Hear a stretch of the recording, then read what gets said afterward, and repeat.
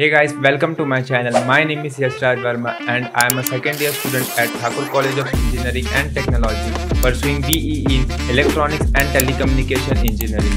I am a web developer, video editor and graphic designer. I love making content on freelancing, AI, skills, productivity and on many more. I do hope that you will enjoy watching videos and hit that subscribe button so that you don't miss any videos